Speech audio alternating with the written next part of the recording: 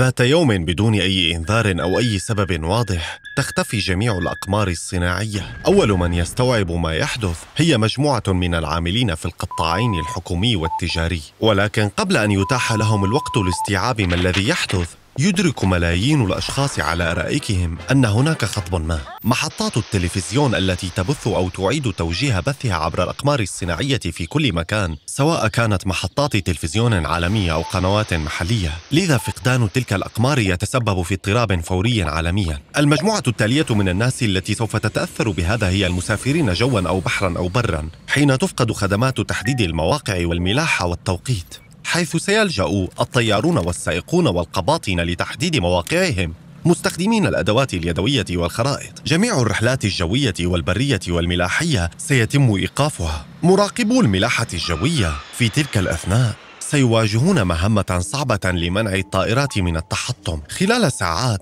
ستتوقف حركة المرور في معظم أنحاء العالم. التأثيرات لن تكون محصورة على الترفيه والنقل، جميع أنواع الآلات كالتدفئة والتبريد وحتى خطوط الإنتاج تعتمد على أنظمة توقيت دقيقة للغاية معتمدة بالكامل على الأقمار الصناعية، والعديد منها يكاد لا توجد لها أنظمة احتياطية. تتوقف المزامنة بين إشارات المرور وأنظمة التحكم الأخرى للمرور مع بعضها، لذا يتدخل رجال المرور ومواطنون صالحون للمساعدة في توجيه ما تبقى من السيارات لتجنب أكبر قدر من الحوادث أكثر الكوارث تأثيرا لم يحدث بعد حيث ينهار الاقتصاد العالمي خلال الساعات القليلة المقبلة. أنظمة التوقيت الدقيقة جدا والمعتمدة على الأقمار الصناعية تلعب دورا هاما للغاية من تتبع حركات البطاقات الائتمانية وأسواق الأسهم وحتى الأنظمة التي تتابع حركات البيع والشراء العادية. لن يتمكن الناس من سحب نقودهم أو تسديد المدفوعات الإلكترونية. تتفكك خطوط التموين والإمداد للسلع الأساسية مثل الغذاء والدواء ما يعني أن الناس ستعتمد على الكميات المتاحة حاليا.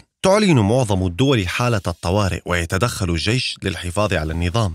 وقد يستغرق ذلك وقتا. بما أن معظم أنظمة الملاحة والاتصالات ستكون خارج الخدمة فإن تسلسل القيادة العسكري سيكون في حالة فوضى كاملة. سيعتمد الكثير من الجنود على وحداتهم التابعين لها فقط. قادة الغواصات النووية ومراكز التحكم بالصواريخ سيتساءلون إن كان ما حدث هو نتيجة عدوان تعرضوا له. ما هي نوعية القرارات التي سيتخذونها طبقا للمعلومات المنقوصة التي لديهم؟ حتى في أكثر السيناريوهات تفاؤلا ستعود حضارتنا عقودا للوراء على الأقل. بالرغم من أن الأقمار الصناعية تكنولوجيا حديثة نسبيا إلا أنها سرعان ما حلت محل وسائل الاتصال بعيدة المدى التقليدية. سمح دمج تقنية تحديد المواقع والإنترنت بتبادل إشارات شبه فورية يمكن مزامنتها في جميع أنحاء العالم. العديد من الأنظمة التي نستخدمها يوميا صممت بالاعتماد على هذا المبدأ. الرجوع لأنظمة الاتصال التي كانت مستخدمة في منتصف القرن العشرين لن يكون بالأمر الهين في الكثير من الأحيان حيث علينا إعادة بناء معظمها. في حين أن سيناريو اختفاء الأقمار الصناعية المفاجئ في هذه التجربة غير مرجح وقوعه إلا أنه يوجد سيناريوهان يمكن أن يؤديا للنتيجة ذاتها. الأول هو عاصفة شمسية تكون قوية لدرجة أنها تتلف إلكترونيات تلك الأقمار بما في ذلك الكثير من الأجهزة وشبكات الكهرباء حول العالم.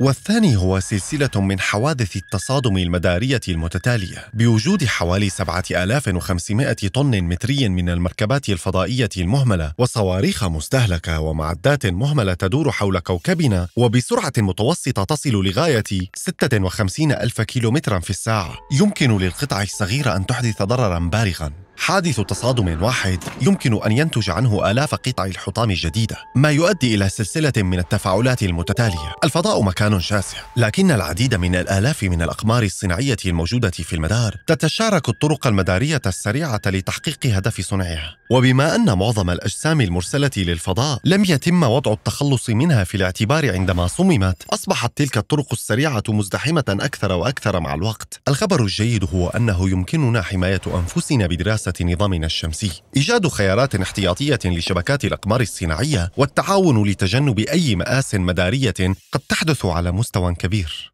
الفضاء الموجود على بعد كيلومترات فوقنا يشبه غاباتنا بشكل كبير. التنوع البيولوجي للمحيطات والهواء النظيف. إن لم نتعامل معه على أنه مصدر قابل للنضوب قد نستيقظ يوما ما ونجد أننا فقدناه للأبد.